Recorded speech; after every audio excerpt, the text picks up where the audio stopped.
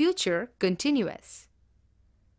We use future continuous to refer to an action that will be in progress at some point of time in the future. In future continuous, you have to use VING form of the verb. You have to use will or shall.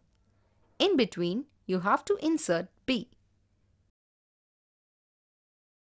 So we can say future continuous is equal to will or shall plus be plus present participle or VING form.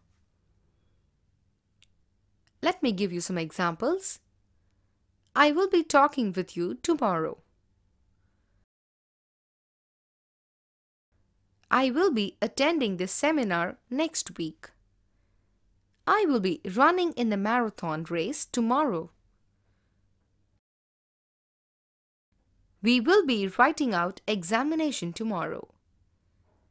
I will be attending a marriage tomorrow.